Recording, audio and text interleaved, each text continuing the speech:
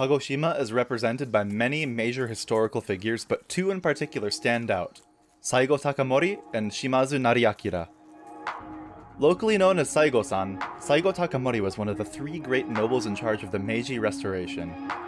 He was also known as the last true samurai. After resigning from Tokyo bureaucracy and returning to Kagoshima, he and his faithful samurai dominated the local government, which led to the national government to fear a rebellion. Conflict began in Kagoshima, and the Satsuma Rebellion began. This rebellion was the inspiration for the Tom Cruise movie The Last Samurai.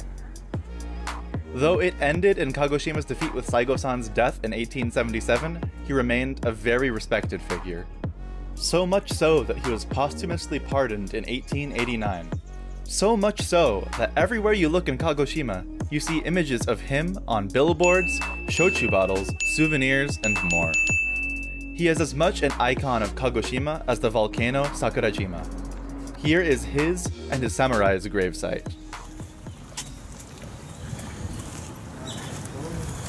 This is the graveyard of Saigo Takamori and his rebels in the Satsuma Rebellion back in the late 1800s.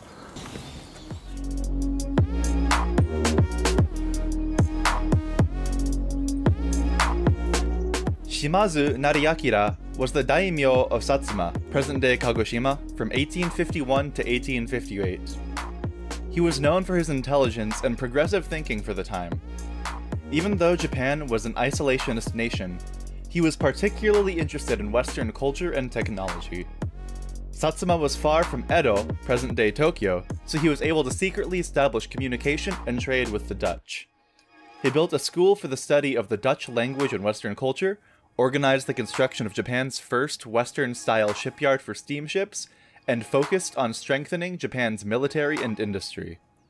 Though he died in 1858, he was one of the most influential figures in modernizing Japan.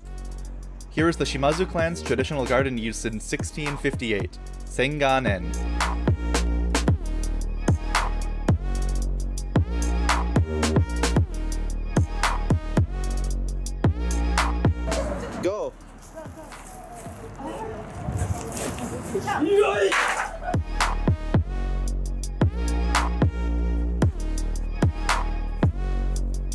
We were just at Senganen, which is Nariakira Shimazu's home in Kagoshima. It had a beautiful garden, a shrine to all cats, because they were used for timekeeping on boats without clocks. And I'll show you some footage.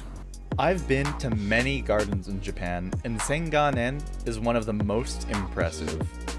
The estate is huge, the garden is diverse and beautiful, and it has one of the best views of Sakurajima and Kagoshima.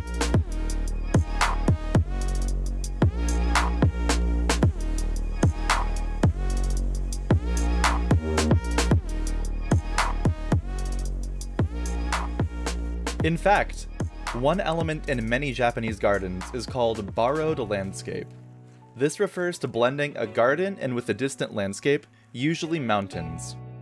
The Chiran Samurai Garden has some examples of mountains in the background, but Senganen uses Sakurajima in the rear as its borrowed landscape.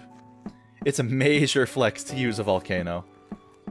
The garden also uses the bay around the volcano as a borrowed pond, yet another flex. Another awesome feature is the Shrine to Cats.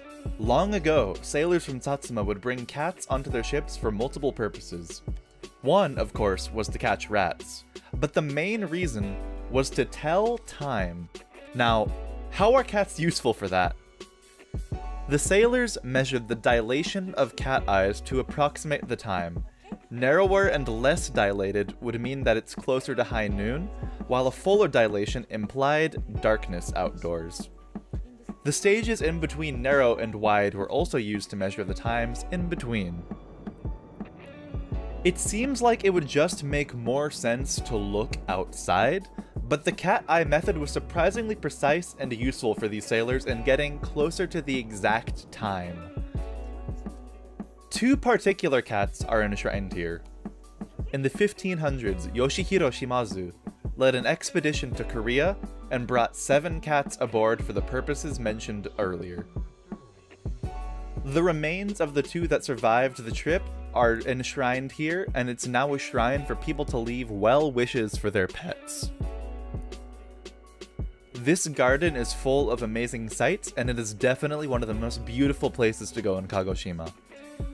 It's full of history from one of the most influential clans in Japan's development, and it's open to the public. People like Saigo-san and Shimazu Nariakira, and places like Sengan-en are what build the local identity. I highly recommend visiting and embracing the local culture. This is a local specialty called shochu ice cream. Shochu is the local uh, spirits, like the liquor. We went tasting that yesterday. It was actually really good. Um, we're gonna try the ice cream right now. Live reaction. Ooh, that's really good. It's like it's like a you know like rum cakes where you like there's a hint of alcohol in it. That's exactly what it tastes like. 10 out of 10. Thanks for watching! If you learned something or enjoyed the video, please consider leaving a like, subscribing, and sharing with your friends. I'm working really hard on these videos, so I really, really appreciate any and all support. Thanks again and see you next time!